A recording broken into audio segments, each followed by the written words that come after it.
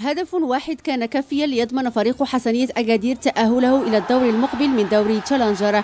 هدف جاء بعد مرور أربع دقائق فقط على بداية المباراة عن طريق اللاعب مراد باتنا وبلمسة ثانوية من اللاعب جمال العبيدي بعدها تضاعفت شهية لاعبي الحسنية من أجل مزيد من الأهداف لكن سوء الحظ لازم المحاولات فضلا عن وجود دفاع مراكشي عزم عدم تكرار الخطأ رافعا شعار من الأخطاء نستفيد. دفاع غزالة سوس نهج الخطة نفسها لكن بشعار مغاير. عصفور في اليد خير من عشر على الشجرة. ولو كان الثمن المغامرة بإسقاط لاعبي الفريق المنافس قرب منطقة الخطر.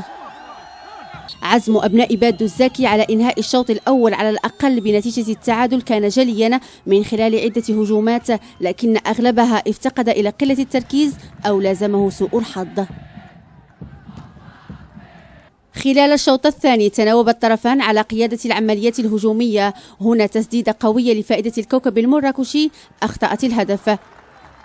بعدها محاولة أخرى للحسنية انتهت للمصير نفسه.